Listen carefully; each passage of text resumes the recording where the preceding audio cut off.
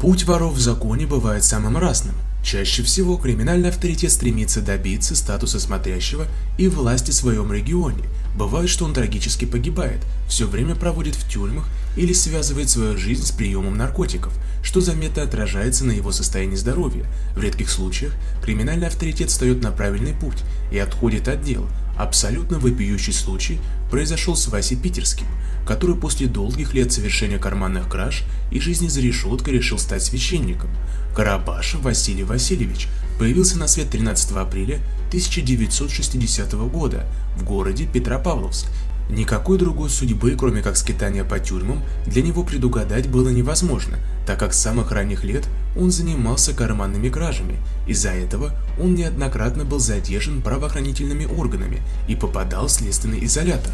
В молодости переехал жить в Санкт-Петербург. Во время отбывания наказания в исправительной колонии в 1993 был коронован воры в законе. Есть мнение, что на достижение им этого статуса повлияло его знакомство с криминальным авторитетом дедом Хасаном. После выхода на свободу еще несколько раз Вася Питерский оказывался в местах заключения. Каждый раз он позиционировал себя как отрицало, отказывался выполнять общественные работы и жил всегда по понятиям, Постепенно его круг влияния продолжал разрастаться. Василий жил не только в Санкт-Петербурге, отчего и произошло его прозвище, но и часто ездил по другим городам страны, где постоянно заводил новые знакомства. Одним из его приятелей оказался вор в законе по прозвищу Джем.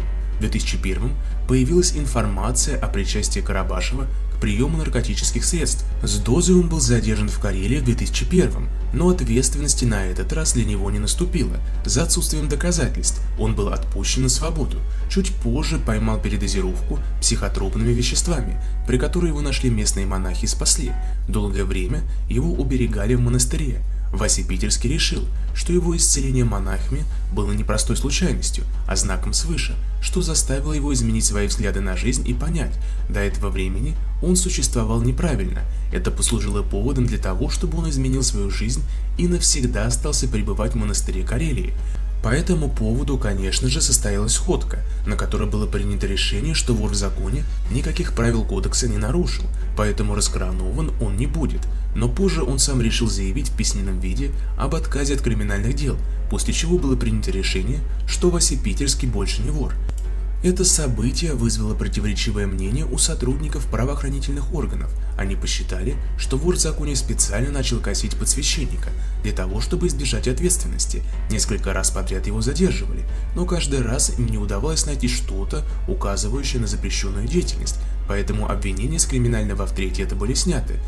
В настоящий момент Василий Карабашев продолжает вести законопослушный образ жизни и с 2016 года является настоятелем храма в деревне Сторожно.